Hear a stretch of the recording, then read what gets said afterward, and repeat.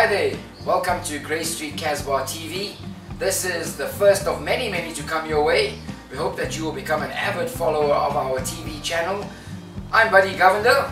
And I am Ishaan Blunden, and we are the founders of Grey Street Casbah and Surround Group. Just a little about our background. My mum's name was Gloria Blunden. My father was Sonny Blunden. I was born in Victor Lane, which is next to uh, next to Carl Street. Family had a shop in Victoria Street called Avalon, famous Avalon Cinema, which later became Dreamland Cinema. Well, I come from uh, the Casbah ourselves as well. My father and mum, Yvette and George Govender. Uh, actually, I was born in 337 Randles Road in Sydenham, but um, lived all my life in Good Hope Centre, Queen Street, and together we consider ourselves The Casbah born boys. and bred Casbah boys. Ishaan and myself uh, grew up together, so we know each other from little boys. Our parents were friends as well, socialized in many of the um, places that we're going to be talking about through our journey. But nonetheless, we have got a long-standing relationship uh, from little boys, having seen the Casbah evolve through the 60s, the 70s, 80s, through to the 90s to current day.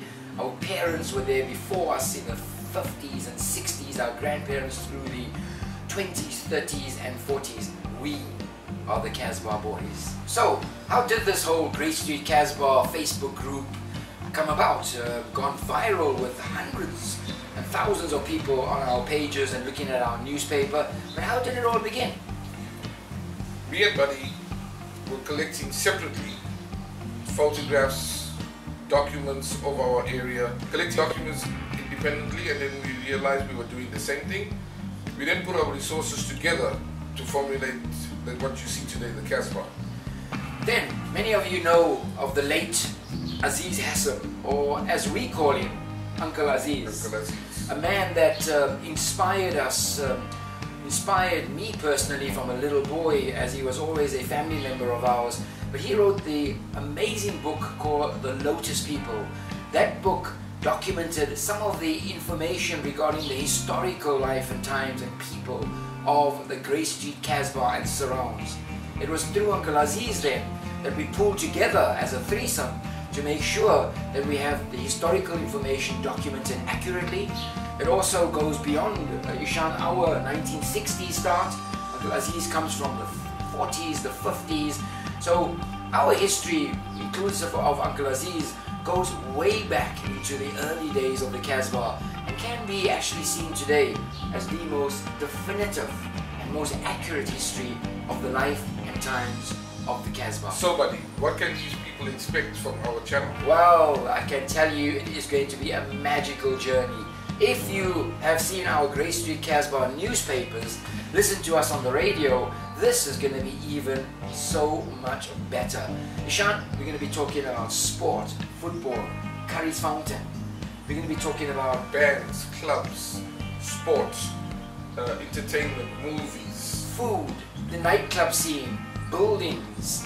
cars, trains, train journeys. What about the people of the Casbah, the men and the women that made the Casbah what it was over the decades? There's even Lollipop Auntie, the Nuts Auntie, the Mango Auntie, and all the aunties we'll be speaking about. Ishaan, tell me, what about have you arranged with Pushpa?